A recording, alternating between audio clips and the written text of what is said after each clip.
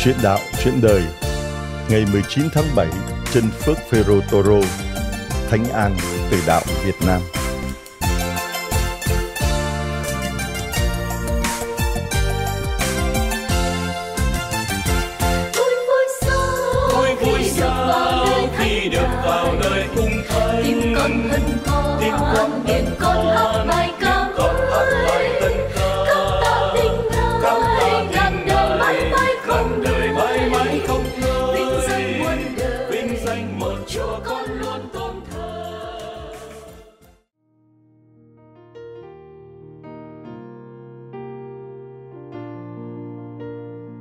Chuyện đạo, chuyện đời Ngày 19 tháng 7 Chân Phước Phêrô Toro Thánh An tử đạo Việt Nam Chân Phước Phêrô Toro sinh năm 1912 tại đảo Papua thuộc Tân Guinea.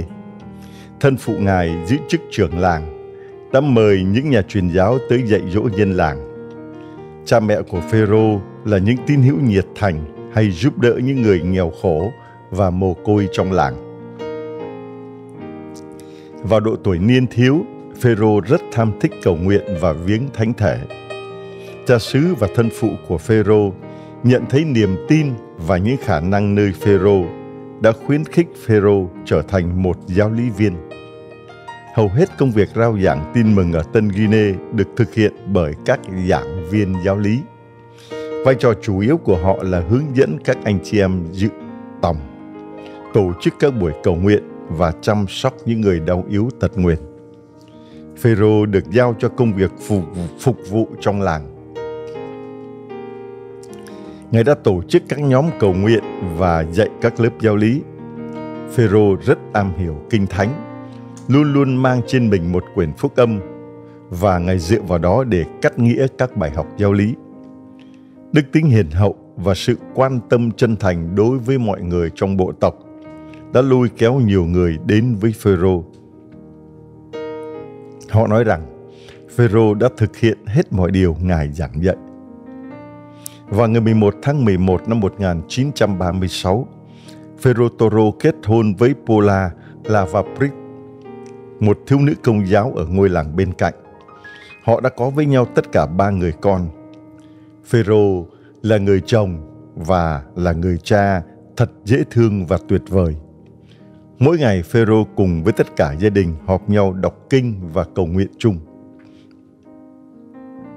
Vào tháng 3 năm 1942, trong Đại Thế chiến thứ hai, người Nhật đã chiếm lấy hòn đảo nhỏ bé này. Sau một thời gian khoan nhượng với tôn giáo, người Nhật đã hạn chế các hoạt động truyền giáo. Chẳng bao lâu, tất cả các nhà truyền giáo, cả công giáo lẫn giám lý hội đều bị bắt giam. Khi vị linh mục ở làng của Phêrô bị ép phải ra đi, ngài đã bắt tay Phêrô và nói: Cha cho công việc của cha lại cho con. Con hãy cẩn thận chăm sóc những người này, đừng để họ lãng quên Thiên Chúa. Phêrô Toro đã thực hiện cặn kỹ điều dầu dặn dò đó. Ngài và các giảng viên giáo lý khác đã giúp giữ cho đức tin công giáo luôn được sống mãi. Phêrô cũng học được một ít tiếng Nhật và ngài có thể làm quen với các giới chức hải quân Nhật. Nhưng sau khi quân cảnh nắm quyền, họ tưởng là các kỳ tỳ hữu đã cầu nguyện cho quân Nhật bại trận và họ đã cấm chế các hình thức phụng vụ công giáo. Rồi một sắc chỉ được ban hành bắt buộc dân chúng phải quay về với phong tục cổ truyền là người đàn ông được phép lấy nhiều vợ. Phêrô đã công khai phản đối điều này. Phêrô Toro tiếp tục tổ chức các buổi họp nhau cầu nguyện, nhưng với các nhóm nhỏ hơn để tránh sự chú ý. Ngài khuyến khích cộng đoàn sứ đạo hãy trung thành cầu nguyện để giữ vững đức tin. Đó là công việc của Phêrô với tư cách là giảng viên giáo lý. Rồi Phêrô Toro bị quân cảnh Nhật bắt giữ trong khi đang tổ chức các nhóm cầu nguyện. Gia đình Phêrô đến nhà giam hàng ngày để đem thức ăn cho ngài các giới chức lãnh đạo công giáo và giám lý hội của các bộ tộc khác đã tìm cách giải thoát Phêrô nhưng không được. Phêrô nói với họ: "Anh em chớ lo lắng, tôi là một giảng viên giáo lý, nếu tôi chết, tôi sẽ chết vì đức tin." Vào tháng 7 năm 1945, một bác sĩ Nhật đã tiêm vào Ferro Toro một mũi thuốc làm chết người. Một người bạn tù quan sát từ xa đã thông báo cho các tù nhân khác hay Phêrô Toro đã bị tiêm thuốc độc chết. Rồi người ta gọi gia đình của Phêrô đến lấy xác và an táng ngài. Nhóm người họp nhau tiễn biệt Phêrô trong đám tang giản dị này đã tôn kính Phêrô Toro như một vị thánh tử đạo. Sau khi điều tra, giáo hội đã chấp nhận và Thánh Giáo hoàng Gioan Phaolô đệ nhị đã tôn Phêrô Toro lên bậc tân phước ngày 17 tháng Giêng năm 1995. Thưa anh chị em và các bạn, chân phước Phêrô Toro đã khiêm tốn nhận mình chỉ là một giảng viên giáo lý và chỉ tu chu toàn bổn phận của mình. Nhưng Ngài đã trung thành với bổn phận ngay cả trong những hoàn cảnh hết sức khó khăn. Niềm tin của Phêrô Toro thật quyết liệt và trong sáng. Ngài đã anh dũng bảo vệ niềm tin ấy. Phêrô Toro là một tấm gương trung kiên cho những học viên giáo lý của Ngài và nào Ngài cũng nêu gương sáng cho mỗi người chúng ta học hỏi. Đức tính, hiền hậu và sự quan tâm chân thành đối với mọi người trong bộ tộc đã lôi kéo nhiều người đến với Phêrô Toro và Phêrô Toro đã thực hiện tất cả mọi điều Ngài giảng dạy. Đã sống điều mà Ngài giảng. Giảng những điều Ngài sống và vì thế thu hút người ta đến được với Chúa. Sự hiền hậu và biết quan tâm đến người khác rất là quan trọng trong việc mà anh chị em và các bạn đi vào con đường lòng thương xót. Đi vào con đường lòng thương xót là con đường mà mình biết quan tâm đến người khác. Khi chú ý đến nhu cầu người khác, khi để ý đến người khác, bạn sẽ quên những cái nỗi buồn riêng của bạn đi. Một trong những cách làm cho mình bớt buồn là bạn quan tâm đến những người buồn. Có khi bạn đến với những người vui, bạn cảm cảm thấy nó buồn hơn vì ừ, mình lại đâm đâm mà cảm mình so sánh. Có phải không? Vì bạn đến với người buồn, bạn thấy, ồ có người cùng buồn với mình và mình làm sao làm cho người ta hết buồn và khi làm cho người ta hết buồn thì nỗi buồn mình cũng không còn nhớ nữa mình không còn nhớ nữa khi bạn quan tâm đến người khác thì tất cả những nhu cầu của bạn bạn không còn nhớ nữa. Và khi còn không còn nhớ nữa thì bạn không còn thấy buồn vì mình không có ai đáp ứng nhu cầu của mình nữa. Đâu còn gì đâu phải buồn. Vì mình nghĩ đến người khác, chú ý đến người khác. Bản thân tôi cũng vậy. Có nhiều người bảo vậy cha có buồn không, cha có mệt không, có lo không. Từ khi mình nghĩ đến người khác, lo cho người khác, làm cho người khác thì tôi thấy mình lại khỏe hơn. Còn cứ suốt ngày xoay vào những vấn đề của mình chuyện của mình nó làm cho mình mệt mỏi lắm. Nhức đầu quá nghĩ người ta nói này nghĩ người ta nói kia nghĩ giờ mình sao đây mình sao đây mình sống sao đây mình làm gì đây? Làm cho mình mệt mỏi lắm.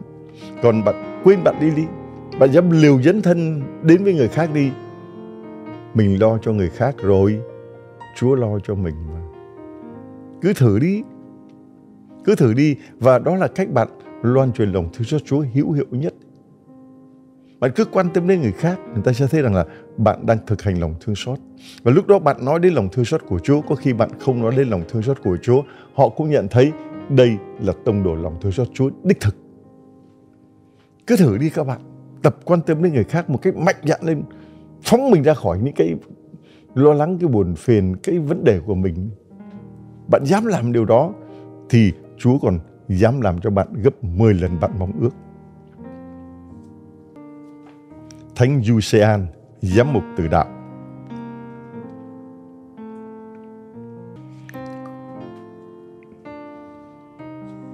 Qua những lời lẽ được trích từ lá thư viết trong tù của Thánh giám mục Giuse-an, chúng ta có thể hiểu được phần nào tâm hồn của Ngài với thân mẫu và mảnh giấy xé trong sách Ngài đã nắn nót từng chữ viết lên lời tuyên xưng đức tin bày tỏ ước nguyện dâng hiến của Ngài hòa với hy tế của Đức Kitô và biểu lộ lòng sắc tín vào quê trời vinh hiển.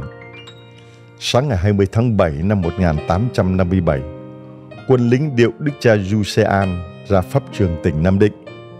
Ngài vừa đi vừa thầm thiết cảm ơn Chúa vì Chúa đã thương cho Ngài đổ máu ra, hiệp cùng máu Thánh Chúa Giêsu cứu chuộc nhân loại. Đến nơi, Ngài trao cho viên chỉ huy 30 quan tiền và nói Xin ông à, nhận số tiền này và ra lệnh cho lính hình chém tôi ba nhát, chứ đừng chém tôi một nhát. Nhát thứ nhất để tôi tạ ơn Chúa đã dựng nên tôi và đưa tôi đến đất Việt giảng đạo. Nhát chém thứ hai để tôi đền ơn cha mẹ sinh thành ra tôi. Và nhát chém thứ ba để nêu gương cho bổn đạo tôi trung thành, sống chết theo Chúa, bền trí trong đức tin, theo gương vị chủ chăn của họ. 30 quan tiền để đổi lấy ba nhát chém. Thật là một cử chỉ anh hùng. Đức cha Giusean đã để lại cho hậu thế. Ngài sẵn sàng hy sinh mạng sống vì Chúa.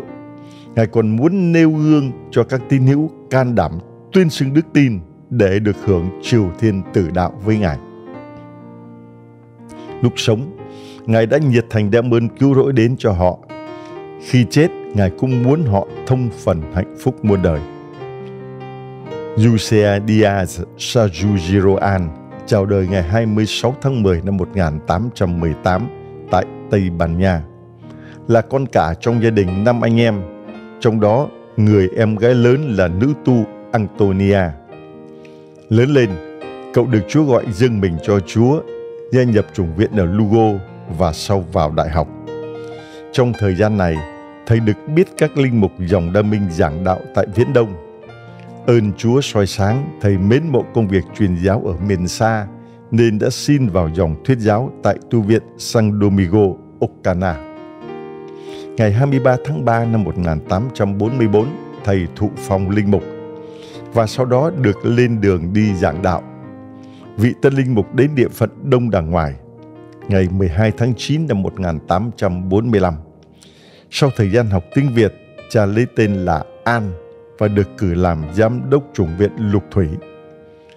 Nhưng năm 1848, vua tụ Đức ra chiếu chỉ cấm đạo gắt gao. Chủng viện phải đóng cửa. Cha Jusean và một số chủng sinh đến ẩn náu ở miền cao xá, lén lút học hành tu luyện. Trong khi đó, vì số giáo hữu gia tăng, Đức Giáo Hoàng Pius thứ 9 thiết lập địa phận chung, gồm hai địa phận nay là Bùi Chu và Thái Bình với khoảng 140.000 giáo dân và 624 giáo sứ. Tách khỏi địa phận Đông Đàng Ngoài và đặt cha Mattisa làm giám mục địa phận mới. Trong sắc lệnh bổ nhiệm, tòa thánh cho vị tân giám mục quyền chọn giám mục phá, phó. Vì thế Đức cha Gia đã chọn cha Jusean làm giám mục phó của Ngài. Từ đó hai vị giám mục hăng say cộng tác điều khiển giáo phận, mở mang nước Chúa. Nhưng chưa được bao lâu, Đức cha già lâm bệnh nặng qua đời ngày 26 tháng 4 năm 1850 tại Hương Cảng. Đức cha An phải một mình gánh lấy trách nhiệm điều hành giáo phận và công việc truyền giáo. Nhờ tài đức của Ngài, việc giảng đạo ngày càng kết quả. Số người theo đạo ngày càng đông. Chỉ trong một năm năm 1852 mà số những người được rửa tội lên đến 28.000 người trong một năm. Năm 1854, nhiều nhóm dân nổi dậy chống lại triều đình. Đức cha cấm giáo dân tham gia. Nhờ đó các quan giảm bớt việc bắt bớ người công giáo. Tổng đốc Nguyễn Đình Tân biết rõ nơi Đức cha ở nhưng không cho quân lính đến bắt và còn hứa nếu khi nào phải bắt Đức cha thì sẽ báo trước. Nhưng tháng 5 năm 1857, đang lúc quan thượng thư có mặt ở Nam Định, tên tránh mẹo đã đến tố cáo có Tây Dương đạo trưởng tên An ở Bùi Chu. Quan tổng đốc buộc lòng phải sai quân đi bắt Đức cha. Quan cũng cho báo trước, song tin chưa kịp đến thì Đức cha đã bị bắt. Quân lính giải nộp Đức cha về Nam Định Tổng đốc Nguyễn Đình Tân sợ quan thượng thư biết mình che chở đức cha nên ra lệnh tra tấn và tống ngục. Nhiều lần vị anh hùng đức tin bị ép bước qua thanh giá nhưng ngài luôn can đảm từ chối nên bị kết án tử hình. Ngày 20 tháng 7 năm 1857, quân lính điệu ngài ra pháp trường. Và theo lời Ngài yêu cầu, Lý Hình đã chém Ngài ba nhát, đưa linh hồn Ngài về với Chúa. Đầu và mình của Ngài bị liệng xuống sông. Có hai người lính thấm máu vị từ đạo liền bị tống giam. Đồ đạc sách vở của Đức cha đều bị đốt. Sau thủ cấp của Ngài được dân trải vớt lên, Đức cha xuyên an táng thủ cấp này tại Bù Chu. Sau tu viện Santo Domingo Ocana xin rước cốt Đức cha về tôn kính vì Ngài là vị tử đạo đầu tiên của tu viện. Trong di chúc Ngài viết, tù nhân trong Chúa gửi lời tạm biệt Đức Cha và các cha cho tới ngày gặp nhau trên trời. Xin tất cả anh em tha thứ cho những lầm lỗi và gương xấu tôi đã làm. Ngày 29 tháng 4 năm 1951, Đức Thánh Cha Pio thứ 12 đã phong chân phước cho Đức Cha Giuse das Sajugioan và Thánh Giáo Hoàng John Phaolô đệ nhị đã suy tôn Ngài lên bậc hiền thánh ngày 19 tháng 6 năm 1988. Amen.